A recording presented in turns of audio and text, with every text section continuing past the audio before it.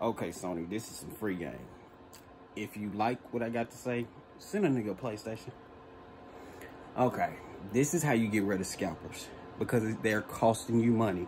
They're costing you money because they buy all the PlayStations and then they sit them until they find a customer that's willing to pay $2,000 for them. And I'm pretty sure that's rare.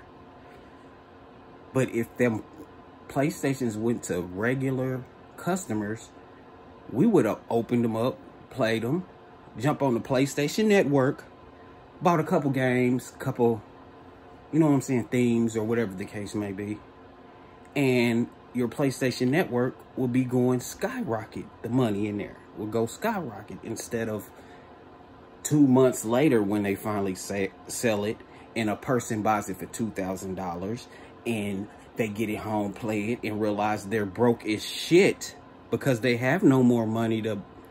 They spent all their money just play, buying the PlayStation for two thousand dollars. So Sony, think about it.